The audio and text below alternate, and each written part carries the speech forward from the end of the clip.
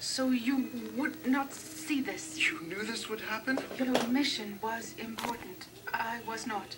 I am to assist. I assisted. You're using up your reserve. Don't say anything more until we find you more power. You've destroyed the only power source in Ninjago. Power will all be non-existent. We are not so different, are we? We are compatible?